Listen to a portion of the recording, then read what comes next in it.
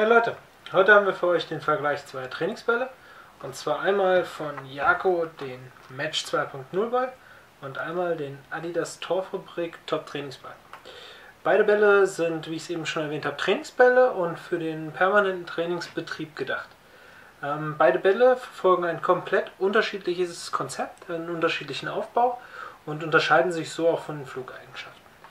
Der Jako Match ist ein Ball, der eine eigene Panelform hat der aus 14 unterschiedlichen Panelelementen besteht, die alle miteinander von der Hand vernäht sind. Das heißt, es ist ein wirklich klassischer Fußball, der eine klassische Naht hat und die Hand gezogen ist und zudem eine Oberfläche, die laminiert ist und die eine Fütterung darunter hat, die dem Ball besonders gut eine Geschwindigkeit aufnehmen lässt.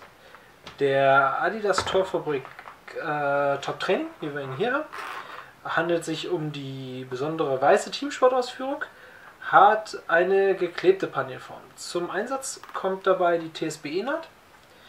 Die kennt ihr aus dem Bundesliga-Spielball.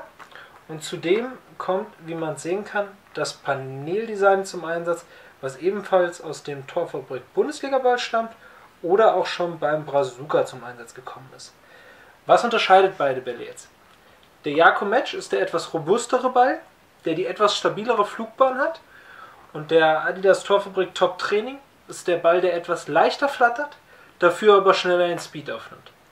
Ähm, beide Bälle sind wirklich gute Trainingsbälle, sind ohne Probleme für die für normale Spielklassen, Kreisliga, Kreisoberliga, auch noch Gruppenliga, wirklich gute Trainingsbälle, die man dort verwenden kann.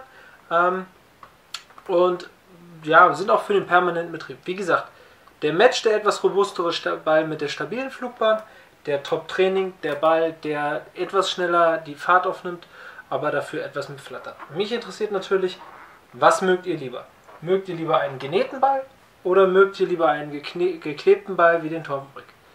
Beide Bälle findet ihr wie immer über den Link in der Beschreibung.